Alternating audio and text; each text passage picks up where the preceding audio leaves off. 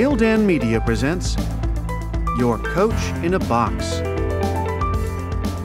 Affordable, mind enriching programs.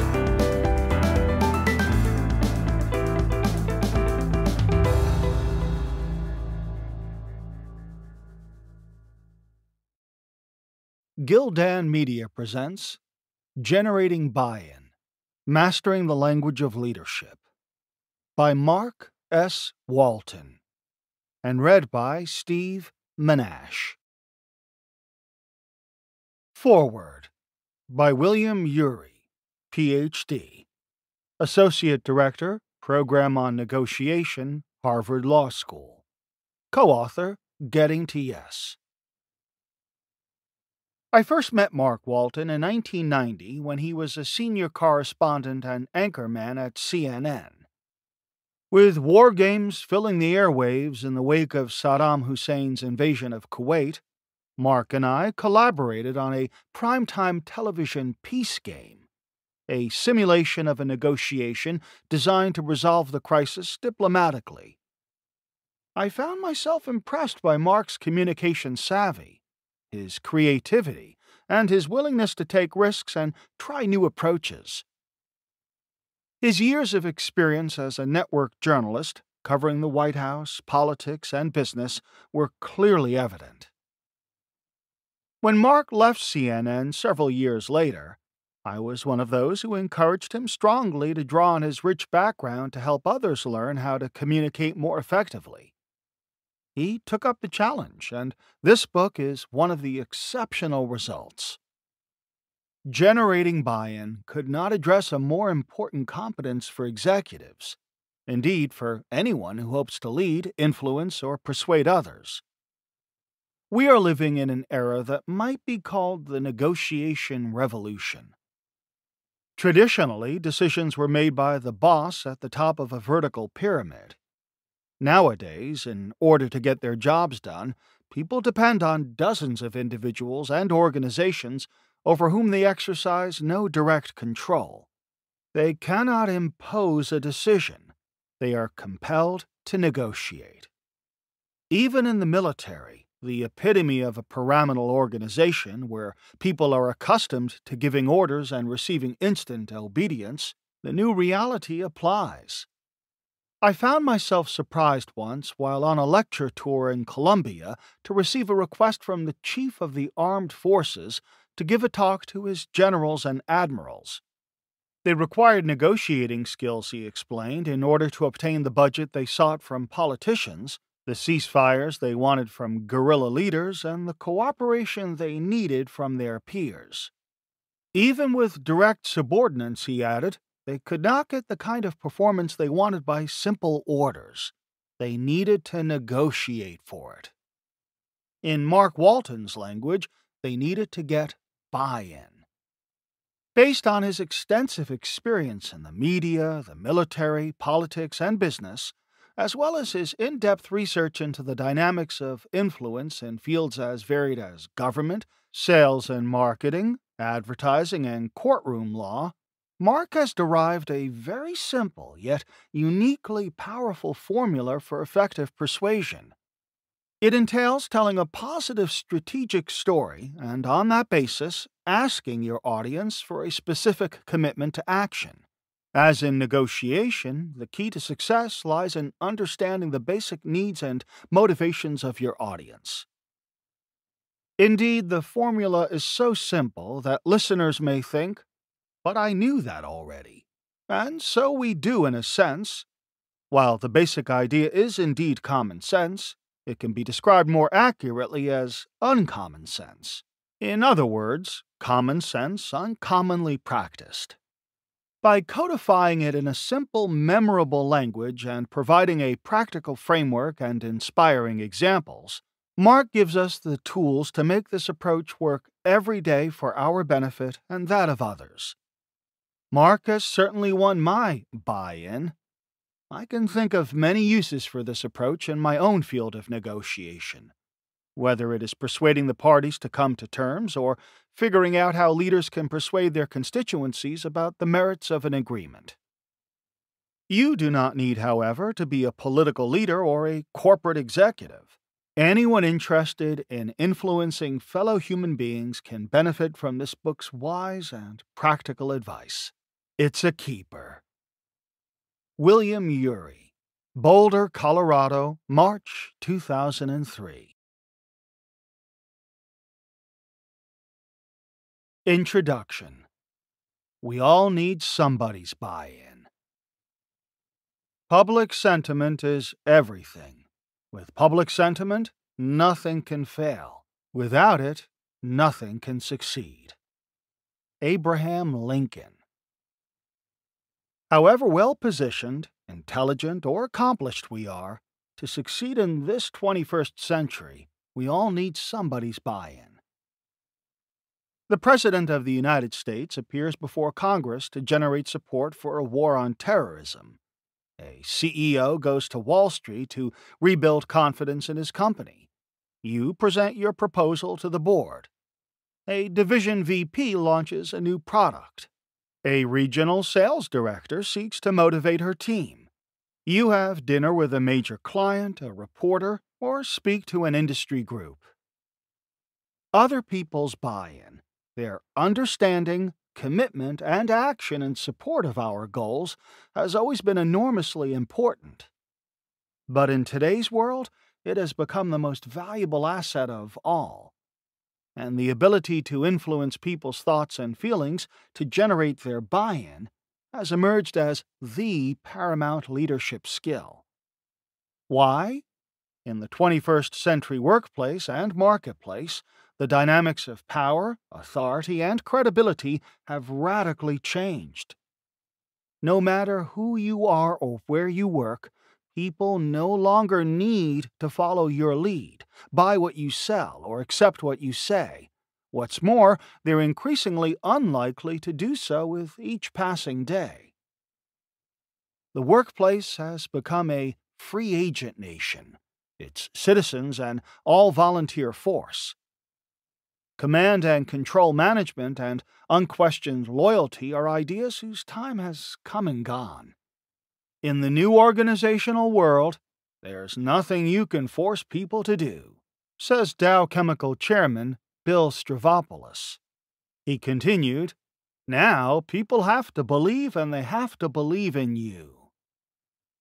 Today's marketplace is a free for all, moving in internet time. Companies, competitors, and offerings glom together in an undifferentiated blur. Investors, customers, and clients click, scan, blink, and decide. Never have they had more options or fewer clear incentives to send business your way. In the 21st century, to refresh Abraham Lincoln's observation at the beginning of this introduction, buy in is everything. With it, Nothing can fail. Without it, nothing can succeed. Not ideas, organizations, products, or services. Not you or me. The power you will gain. This audiobook provides you with a uniquely powerful communication methodology, a language of buy in and leadership built for success in today's formidable fast forward environment. Whatever your buy in challenges, this language will empower you to produce the results you want and need with greater ease, speed, and effectiveness. It can be applied in every situation and in every medium, spoken or written, in which you communicate. You can use it in important presentations and speeches, one on one conversations, high pressure meetings, media interviews, or events. With this language, you can write proposals, letters, memos, or emails. It is a synergy of ancient wisdom and state of the art communication strategy that will give you a significant edge in an extremely competitive 21st century world.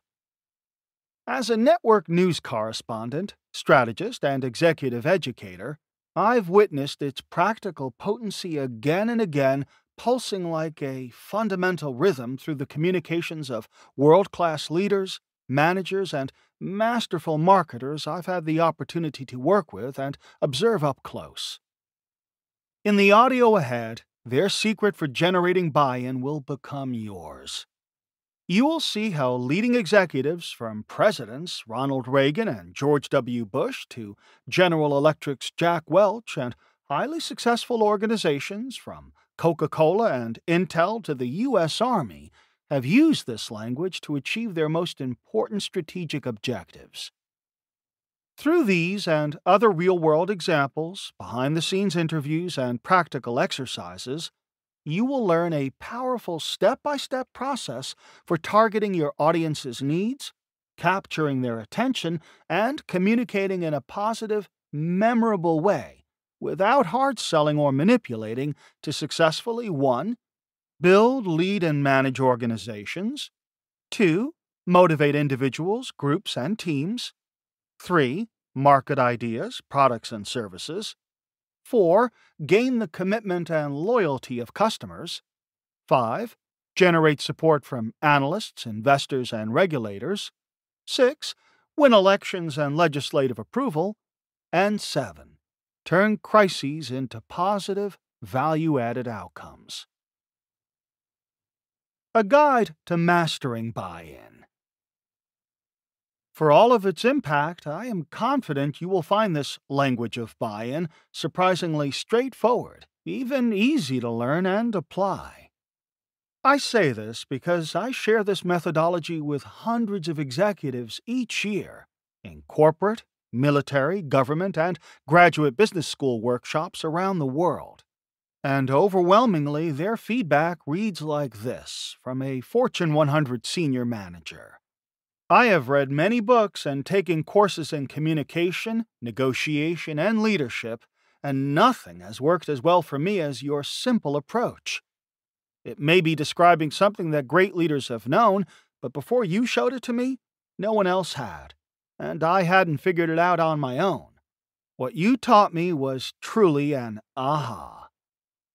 For the many talented executives with whom I've worked, and for those of you I've yet to have the pleasure of meeting, this audiobook is designed as a guide to mastery of a remarkable technology for leadership in the workplace and marketplace of the 21st century.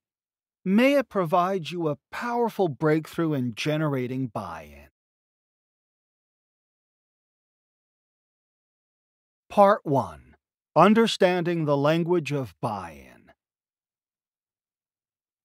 Chapter 1 What Triggers Buy In? I will bring you up out of the affliction unto a land flowing with milk and honey. Exodus chapter 3, verse 17. Settle back in your television chair tonight, remote control in hand, and in the matter of a few short hours, an economy larger than the GNP of many small countries will pass before your eyes. Between blinks, millions of dollars in commercial stories will flicker in and out of your consciousness. If you're watching a top rated program like the Super Bowl, sponsors may have spent more than $3 million in time and production costs to get a 30 second shot at your mind. Say good evening to the greatest technology of influence in history, one that is dedicated to a singular strategic objective getting your attention, interest, and buy in, and that of every human being worldwide within its line of sight. You can be certain that not for one second or cent are the masters of the television universe fooling around. Whether they're seeking buy in for automobiles, clothes, investments, or vacations, they will program their technology to communicate with you and me in the most compelling language ever found. They will speak to us in strategic stories night after day after night. These are stories that are strategically designed to project a positive future.